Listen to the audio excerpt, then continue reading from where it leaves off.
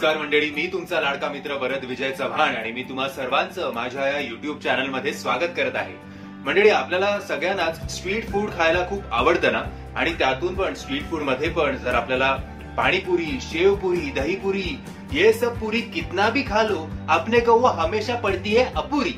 आणि म्हणूनच आजच्या या व्हिडिओमध्ये मी तुम्हाला या पुऱ्या कशा बनवायच्या ते नाही दाखवणार आहे बट या तिन्ही एक कॉमन फॅक्टर जो असतो आणि ते कॉमन फॅक्टर म्हणजे या पदार्थांमध्ये वापरल्या जाणाऱ्या चटण्या.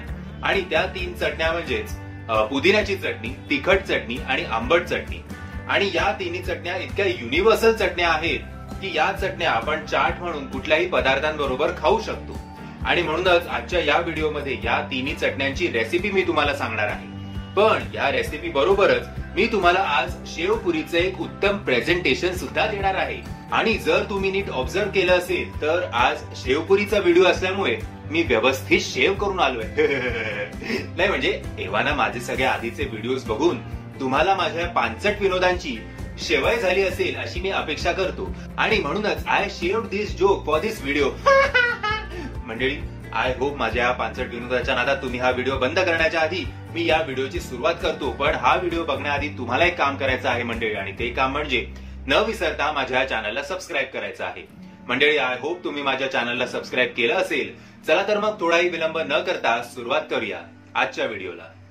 आता सर्वप्रथम खजूर आणि चिंच घ्या आणि त्यांना स्वच्छ धुतल्यानंतर त्यातल्या बिया काढून टाका आणि मग खजूरला आणि चिंचेला अर्धा तास पाण्यात भिजवत ठेवा. आता लो फ्लेमवर एका पॅनमध्ये भिजवलेली चिंच घ्या.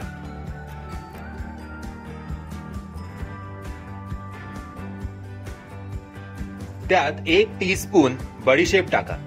बडीशेप मे जाऊ दे. आता एक टीस्पून लाल मिरची पावडर घ्या. आणि अंदाजे गुळ टाका.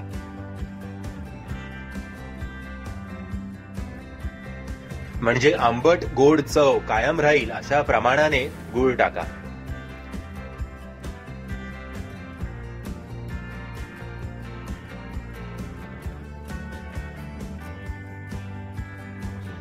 आता हे गूळ नीट वितळेपर्यंत बॉईल करून घ्या.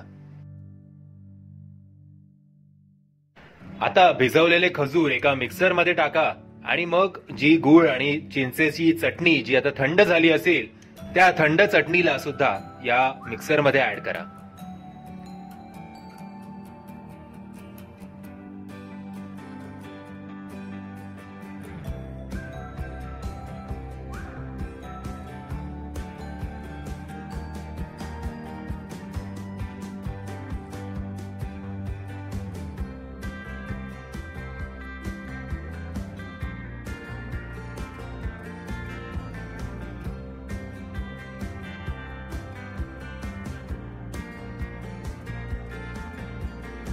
तर आता आपण बघूया पुदिन्याची चटणी कशी बनवायची ते. सर्वप्रथम पाच सहा मिरच्या घ्या. मग तीन चार छोटे तुकडे आल्याचे टाका. आणि मग तीन ते चार लसूण टाका. आणि मग एक वाटी कोथिंबीर ऍड करा.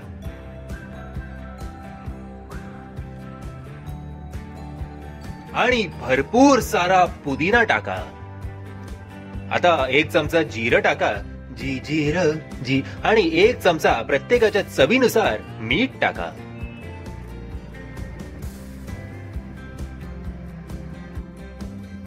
आता याच्यावर थोडं लिंबू पिळून घ्या. जेणेकरून याचा असा मस्त असा हिरवागार रंग होईल या चटणीचा.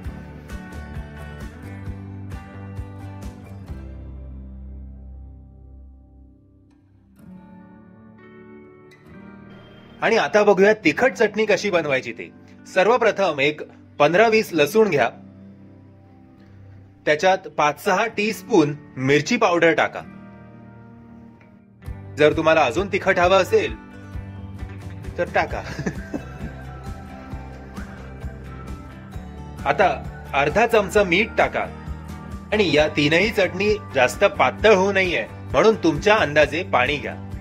आणि अशा प्रकारे या तीनही चटण्या तयार झालेल्या आहेत मंडळी. आणि या तीनही चटण्या तुम्ही कुठल्याही चाटमध्ये चाटे कोचिंग क्लासेसला न जाऊन सुद्धा फक्त हा व्हिडिओ बघून बनवू शकता काय? आणि आता या तीनही युनिव्हर्सल चटण्या तुम्ही शेवपुरी दहीपुरी पाणीपुरी समोसा चाट आणि वडापाव कशातही या चटण्या तुम्ही वापरू शकता. आणि जर आता यातलं काही करायला तुम्हाला कंटाळा आला असेल तर आमचा हा व्हिडिओ बघून तुम्ही स्वतःचं पोट भरलं तरी चालेल.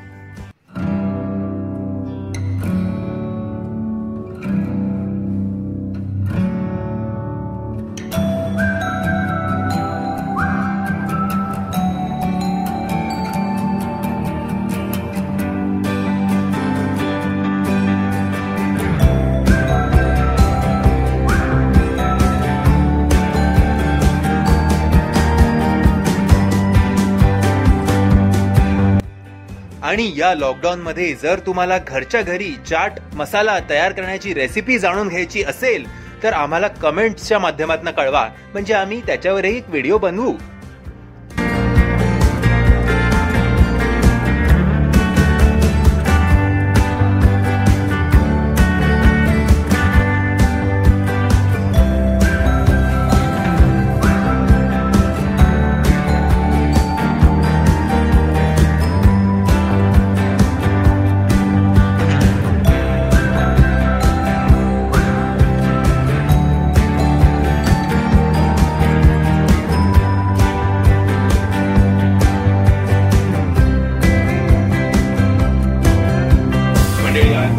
माझा हा व्हिडिओ आवडला असेल जर तुम्हाला माझा हा व्हिडिओ आवडला असेल तर प्लीज या व्हिडिओला जास्तीत जास्त शेअर आपलं शेअर करा.